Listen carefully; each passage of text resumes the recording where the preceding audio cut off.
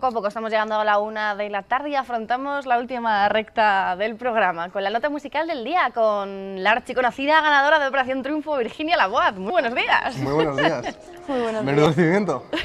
Pues, pues sí, mm, hola, ¿qué tal? Nosotros muy bien ahora. ¿Y tú?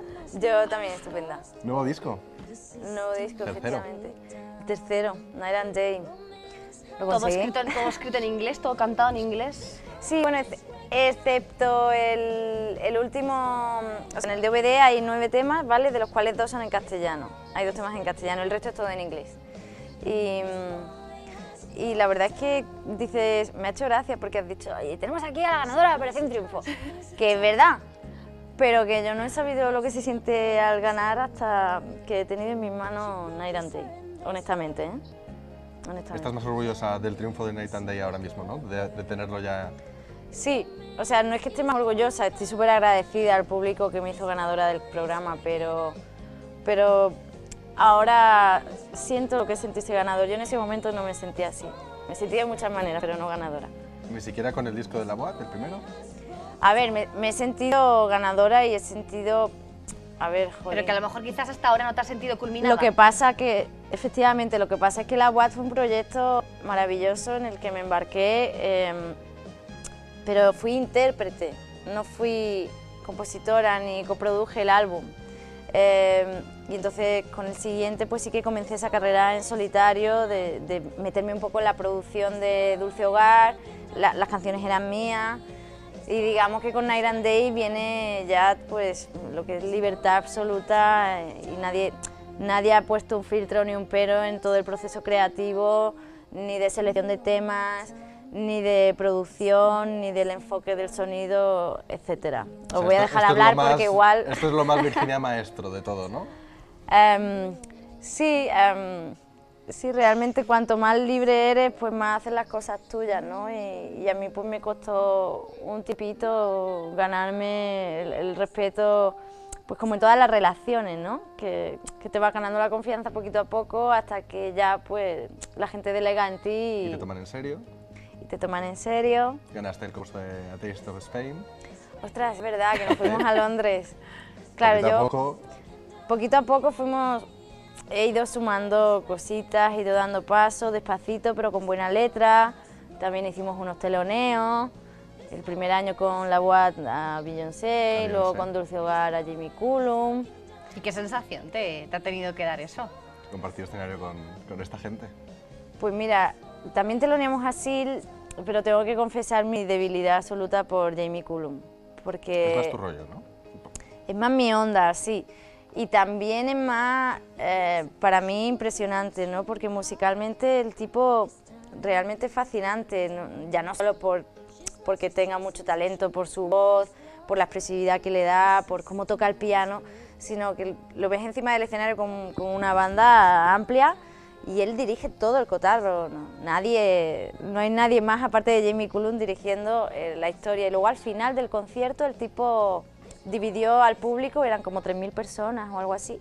Lo dividió en tres secciones y nos hizo cantar a todos armonías a tres voces y fue eh, increíble. Increíble, ¿no? Y luego telonear a, a un artista como este, eh, que tiene este tipo de público, hizo que yo también me sintiera más cómoda en el escenario porque, bueno, digamos que, que estaban como más receptivos a escuchar el tipo de música que yo hago, ¿no? Porque de alguna manera eh, conecta más con la suya que con la que, que con- yo con Beyoncé o yo con Sil, ¿sabes? ¿Y de dónde viene el nombre de Night and Day? Pues Night and Day viene un poco de... Verás, a mí me pasa lo siguiente, yo me junto con 80 borradores de canciones, ¿vale? Y tengo que empezar a quitar para quedarme con, con pues yo qué sé, pues que tiene un nueve, CD de once. 10 a 13, 14, tal. Y después de quedarme con 22 dije, ya no puedo quitar más. No quiero quitar No más. quiero, no puedo, no... ¿Qué hago? Pues voy a proponer que por el mismo precio hagamos un CD y un DVD.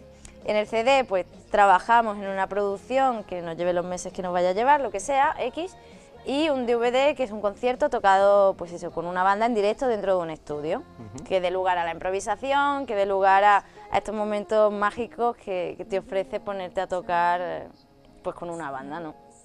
que es lo que, lo que estamos viendo ahora mismo. Y, mm, y ese es el Night, ¿vale? Y el J es el CD.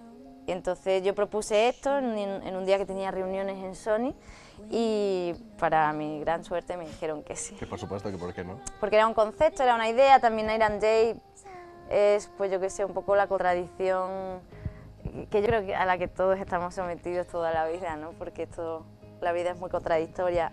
Me debatía entre Night and Day y Variant Soul, que es también el nombre de otro estándar que me gusta mucho. El timbre de la guitarra es el que predomina un poco dentro de, de, del disco, ¿no? También es muy de conciertos íntimos. Y, y, es lo que comentábamos antes, ¿no? ¿No es difícil afrontar un concierto con todo lo que dura un concierto sola tú y con tu guitarra? Sí. Um... sí. sí. efectivamente se confirma la sospecha. Me alegra que me hagas esa pregunta porque... Ah, como decía mi compañero. A ver, sí, claro que sí, sobre todo al principio. Lo que pasa que, como te decía antes, eh, es, una, es una cuestión de, de, acostumbrarse. El ser humano al final se acostumbra a todo. Entonces yo al principio iba muy insegura y yo creo que iba casi escondiéndome detrás de la guitarra, ¿no? Ya poco a poco la guitarra pues la fui eligiendo más pequeña. Esto estaba, esto estaba pensando. Fui saliendo más yo, ¿vale? No sé si me entendéis, ¿no? Y, ya al final, pues bueno, pues voy con mi guitarra y, y, si pasan estas cosas de, uy, me he equivocado de acorde, pues nada, una sonríe, sigue para adelante. Pero está muy bien porque te, yo después de haber estado casi un año haciendo conciertos sola por, por salas con mi guitarra, me he dado cuenta de que ciertas situaciones, tanto pues yo qué sé, entrevistas para promocionar mi proyecto o no sé, acabé en, en Ondarribia, en el Festival de Ondarribia el año pasado, abriendo yo el, el, el concierto mío que era con banda y dije, pues yo me voy a plantar aquí con mi guitarra, le voy a decir al armonicista que se venga, que me acompañe y vamos a hacer Amazing Grace. Y abrí el, el, el concierto en ese festival, que había un montón de gente, eh, sola con la guitarra. Es el tipo de, de retos que uno de repente se plantea hacer desde una tranquilidad que a lo mejor si no hubiera estado un año tocando sola por salas con mi guitarra, no me hubiera planteado hacer porque me hubieran temblado las rodillas, ¿sabes? ¿Cómo te sientes más cómoda? ¿Cuándo, ¿En qué momento te sientes más cómoda? ¿Con guitarra, con banda? Ah, eso, eso, depende del día del mes, eso nunca se sabe. No, a ver, a mí me encanta, según qué canción también, uf, no lo sé, me encanta hacerlo sola con mi guitarra, pero tocar arropada por una banda con la que tienes complicidad y, y, y sintonía y empatía, eh, es una sensación muy bonita es como pues eso, ¿no? Que, que, te sientes arropado, que te sientes en un entorno, mmm, pues lo contrario a territorio hostil, es como que te sientes en familia y, um, y cada músico cuando está contigo encima del escenario te aporta ya no solo el manejo de su instrumento, sino una energía, una motivación que también a ti te puede alimentar, pues qué sé yo, improvisar o, o estar más o menos inspirado, ¿no? En este último álbum, Night and Day, se ha dicho de todo, pero una de las cosas que ya te acercas al country, al rockabilly. Sí. Um, Ese ritmillo, ¿no? ¿Eh? Ese ritmillo. Sí, claro. Um, Night and Day es que, claro, tiene, tiene influencia de la música country, tiene influencia de, de, de, la, de, la, música, sobre todo de las décadas de los 50 y de los 60, pero también veo yo, por ejemplo, en Get the Check, donde grabó Mastreta, el clarinete. Um, hay un poco, pues años 30, años 40, es como muy swing. Eh, hay música americana, música americana de, de, distintos sitios, pues yo qué sé, pues eh, en Memphis o Nueva York o Chicago o Nueva Orleans. Todo, ¿no? Un poco abarcando todo el panorama. Y un poco abarcando todo el panorama de, de, la, de la realidad musical que me ha acompañado a mí desde mi infancia, que de repente, pues, oye, me pongo a componer y me sale ahí, pues, toda esa costelera que he ido mezclando en mi cabeza desde niña y me sale en, en estas canciones, ¿no? sobre todo en música americana. Con instrumentos tan suculentos como el banjo o la, o la mandolina, ¿no? Que sí, le da un sonido bastante fíjate. curioso, desde luego. La verdad que sí, bueno, es muy americano, ¿no? Esto también. Sí, sí. Nacho Moore se encarga de, de, grabar estos instrumentos, también graba el lap steel. Eh, y bueno, y justo ahora, mira, el viernes tenemos el primer ensayo para, para la gira y estoy bastante entusiasmada. El... ¿Dónde empieza la gira? La gira empieza en, el, en, en, Sevilla el 13 de abril en Jazz Corner Luego continúo en Pamplona el día 26, luego el día 30 en, en Valencia. a veces una se queda bloqueada. de todas maneras, em, invito con vuestro permiso a la gente a que visite mi página web oficial www.virginialaguat.com o que me sigan en el Twitter, arroba Virginia Maestro y esas cosas. Te voy a preguntar, redes sociales, imagino que por ahí, yo por lo menos que te sigo desde hace bastante tiempo, has, has tenido bastante, bastante actividad. La verdad que sí, em, la tengo, mm, querido. Eh, Efectivamente. Efectivamente, me gusta. Eh, pues sí, sí que mm, me gusta mucho estar cerca de, de- de mis seguidores o, o llámalo X, de la gente que, que aprecia y valora la, la música que hago. Me gusta estar cerca porque mm, quiero saber qué piensan, quiero saber qué esperan, quiero saber qué, qué quieren ellos e intentar compaginarlo con, con lo que quiero yo. No- porque esté obsesionada con complacer a todo el mundo, porque es imposible complacer a todo el mundo, ¿no? si no dejas de ser honesto en algún momento. Pero quiero ver cómo puedo combinar esas cosas, quiero ver obviamente cuando estás preparando un, un trabajo con tanto amor y tanta pasión, eh, estás deseando eh, tener un poquito de reconocimiento, reconozcámoslo, ¿no? Además eso te ayuda a seguir adelante. Y eso te ayuda, te da aliento, entonces ellos son eso para mí, eh, ellos me dan aliento, alimentan mi ilusión y, y bueno, pues te ayudan a, a- a seguir adelante. ¿Y qué tal es trabajar con Bernical como productor? ¿Qué parte en este disco tiene suya? Pues a decir verdad, em, he estado trabajando, pues hemos- han sido como tres meses y medio, cuatro en el Riva Futura, aquí, bueno, bueno, cerca. Yo no conduzco, yo no sé cómo de cerca está, pero muy lejos no anda porque está por Madrid, así alrededor. Em, y hemos estado yendo, pues eso, casi cuatro meses, Bernardo Calvo, Sergio Fernández, Pete Nolan y yo misma. Y, Hombre, si no vas tú. y lo hemos pasado fenomenal porque hemos ido para allá con una batería de canciones que primero tuvimos que agrupar en un CD y en DVD y ha sido ir cada día a, que cada uno aportara lo mejor de sí mismo. eh, y bueno, y trabaja- trabajar con, con Bernie es muy, es muy fácil porque el tipo em, transmite mucha calma, ¿no? Y, y tenía muy claras, muy claras ciertas cosas. Pete también tenía muy claras ciertas cosas y Sergio también y yo también. Y entonces al juntarnos los cuatro encajamos muy bien y, todo lo que aportaba uno no lo aportaba el otro. O sea, éramos muy complementarios y descubrimos un poco lo que es ir a jugar a hacer música en un estudio. Tuvimos el privilegio de contar con el estudio de Bernie y, y con toda la parsimonia del mundo hacer este disco, ¿no? Ya no llevando una preproducción y yendo a grabar, sino en el mismo estudio jugar a ¿y tú qué crees Hacer que le pega tal no sé qué? Vamos a tocar estos temas a ver qué nos salen y han surgido muchas cosas nuevas haciendo haciendo esto y la verdad es que yo nunca lo había experimentado y, y hoy en día ya no se hacen tampoco los discos así que yo sepa, que yo sepa. Tan artesanales, ¿no? Tan artesanales, claro. Cuesta mucho, ¿no? Luego al final nos entró La prisa. eh, la prisa, porque claro, nos habíamos tomado las cosas con mucha calma y como que el último mes nos volvimos locos. Sobre todo Bernie, que tuvo que hacer la mezcla también del álbum. Pero, pero ha sido muy bonito y yo la verdad es que cuando terminé el álbum y ya no tenía que ir de, de 10 de la mañana a 9 de la noche al estudio, en cierto modo te alivia porque recuperas tu vida social, que es muy eh, importante. que es muy importante ¿Duermes? duermes más. Y, pero tenía, estuve muy triste. Estuve muy ¿Te triste. faltaba algo?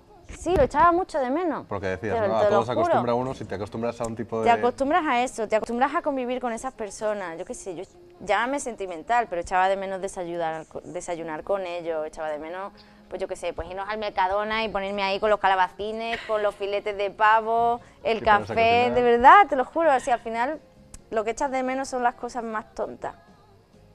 Y yo pues, pues yo qué sé, estaré muy sensible. Lo has dicho con un deje de nostalgia bastante Sí, sí, que se nota bastante. Habrá que hacer más discos para, para Hombre, poder sin sentir... duda. Hombre, Espérate que tenga un hueco que me pueda componer ya que le estoy diciendo. Discos con las mismas influencias, porque ahora que te has descubierto a ti misma, ya tienes tu sello, ya, ya realmente sabes hacia dónde quieres ir, ¿va a haber más cambios? ¿Vas a seguir esta evolución? ¿Te Yo voy a- dónde estás? Pues ya sabéis que, que me ha costado mucho encontrar mi sonido, ¿no? Hasta que llegaba Night and Day y como que he dado mil vueltas. Pero yo creo que yo creo que seguiré la, la estela de este disco mm, seguro, porque me siento muy cómoda, porque como que me he redescubierto en mi forma de cantar, como que siento que todo encaja perfectamente conmigo y es muy coherente y, y no sé, es un disco que yo misma me, me compraría por por, el tipo de sonido, de influencia, todo lo hemos cuidado mucho y, y, yo- y eso se nota, va, yo qué sé, estoy súper orgullosa. Bueno, eso es lo más importante, ¿no? Sentirse orgulloso de lo que uno hace Claro. y estar contento además de lo que, por lo que uno trabaja. sí, para mí ha sido muy emocionante. ¿Y la dificultad de componer en inglés? Claro, ahí he echado de mano de mi querido amigo Jesús Díaz, que le mandamos un besito, que es sevillano. No sé, ¿dónde está mi cámara? ¿Dónde está? es tú. Que Jesús Díaz, que es filólogo y sobre todo amigo mío, entonces pues yo compongo, tal, no sé qué, escribo mi letra, mi borrador, porque Tú ojalá... también estudiaste filología, ¿no? No, No, No. maestra, claro, musical. casi. No, no, ojalá, ¿no? Pero mm, yo no quería estudiar, yo quería tocar. y mm, niños, vosotros no. Y que la cosa está No muy sigáis mala. no sigáis mi A estudiar. Primero estudiar y luego ya... No os hagáis músicos, estudiar. Eh, total, Pero que... comprar el disco. Pero comprar Night and Day. Bueno, total, que Jesús, que es un buen colega, pues yo lo llamo Jesús. ¿Qué tiempo tienes en Semana Santa para hacerme un hueco? Pues tal, pues ven, me voy a su casa y echamos unas cuantas tardes. Pues mira, Jesús, pues yo quiero decir esto, ayúdame a decirlo bonito. claro, porque yo sé inglés, pero estoy bastante, vamos, no sé si bastante, pero bueno, tengo mis limitaciones y ojalá y fuera bilingüe, pero bueno, pues no lo soy. No. Pero no pasa nada porque... Pero has sabido solucionar el problema. Lo he solucionado, sí. También me preocupaba mucho de, de- de tener una, de mejorar todo lo que pu- he podido, la, la pronunciación, pues Laura Lee, por ejemplo, que es una cantante que ha hecho coros en este álbum, con la cual en el DVD además hago una colaboración, que tiene un grupo que se llama Fix This, que mola mucho. E- ella sí lo es y le, dije, pues yo te voy a contratar. Y tú me vas a hacer aquí un seguimiento de toda la pronunciación mientras yo esté grabando el disco. Entonces yo me ponía a grabar y ella estaba en el control arriba, le decía, ¿qué tal? ¿Bien? Tal, no sé qué. Dice, no. Me va Bien, diciendo, no, pues sí, pues no, pues oye, pues esta palabra se te ha escapado una E cuando es una A, pero con una heart y no sé qué, ¿sabes? Y bueno, y he querido hacerlo lo mejor que, que he podido, que dirá la gente, ¿y por qué no compones en castellano que sí lo dominas? Y yo digo, porque no me apetece, ¿Ya está? porque he escuchado siempre música en inglés y era lo que me apetecía. Y Y, como si- me han si- dejado, pues lo he hecho. Y además tus influencias son americanas también, pegan mucho Claro. más desde luego un sonido en inglés Claro. que un sonido en castellano. Yo me estoy quedando con ganas de escucharla. Yo también. Allá vamos. Allá Allá vamos. Como Bueno, decía- vamos a presentar, ¿cómo se llama la canción? La canción se llama Dream Man y, mm, y ¿Y bueno, es va? el primer single de... ¿eh? ¿De qué va? ¿De un hombre ¿Vamos a soñar sueña? hombres? Pues mira, yo siempre he sido muy Susanita y siempre estaba ahí como en mi parra mirando al infinito por la calle en plan, pues mm, encontraré al hombre de mis sueños y no sé qué, no sé cuánto. Ah, lo típico de las niñas. Pero Y así salió esta canción. ya sí salió esta canción. Pues a ver, nos cuentas. When through the window on my bed,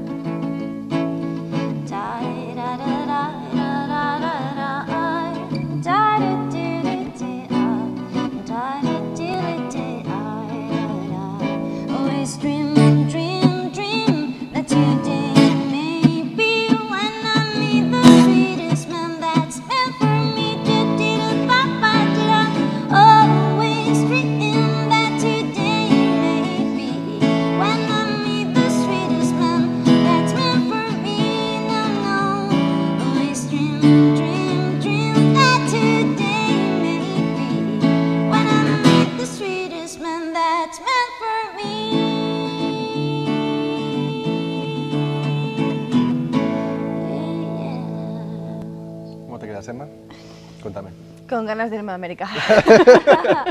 Sinceramente. yo de verdad agradezco mucho sobre todo el hecho de que eh, cuando alguien canta en directo, eh, cante o por lo menos igual o mucho mejor que en el disco. Y esta vez pues es- también se confirma esta teoría. que- ah, porque hay muchos, hay muchos artistas que cuando cantan en directo dices, yo... Que pareces un que- jurado de Operación Triunfo ahora mismo. efectivamente, vas a pasar a la siguiente fase por la calidad tonal.